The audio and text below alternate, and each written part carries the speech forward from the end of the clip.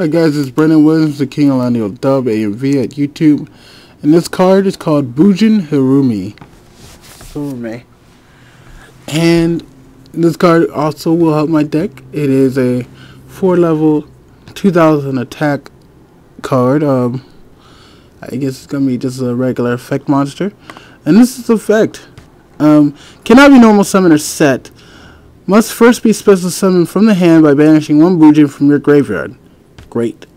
That's what you want to do with Bujin monsters in the first place. After, uh, except Bujin Harami, Hirumi if she's in the graveyard. After this card has been special summoned this way, if this card you control is destroyed by your opponent's card, either by a battle or by card effect, and sent to the graveyard, you can discard one card, then your opponent discards one card. You can only control one Bujin Harumi. Hirumi. So they were trying to negate your summon you both have to discard a card, which is good. This is really good and really funny, because they were like, "Well, I'm going to destroy your monster." Sure, you get punished, but they get punished too.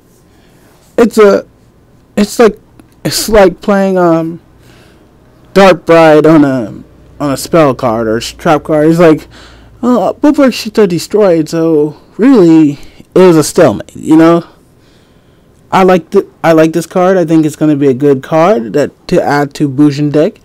I think um, it has a lot of potential to be like one of those, you know, secret comer uppers. You know, you you play the monster, you like destroy the monster, shit. You could do all kind of shit with this card. Definitely because it's being special summoned, it gives you an advantage, and because you can do as many special summons a turn that you want, I think this card could be a very good card in this uh, meta. I think it could boost Bujin's probably farther than it already is. It's not that good right now. Um, compared to Madolche's or anything, you know. Shout out to um, DYCT, what his name is. that nigga's funny as fuck. But yeah, right now, this card is amazing in the fact that it helps Bujins. It's not that good of a card, though. There's tons of cards that are probably better, but it has 2000 attack and it's level 4, so it's pretty high, pretty powerful. That's a pretty good thing for Bujins. When, when you don't have monsters up that high, the most expensive card is $35 and it's 1900 attack. You need something that can lift it, lift your Bujin's monsters up when you have monsters that are 12, 1600 attack. Really bottom of the barrel when it comes to attack nowadays. I like this card. I really, I really want to play this card in my deck.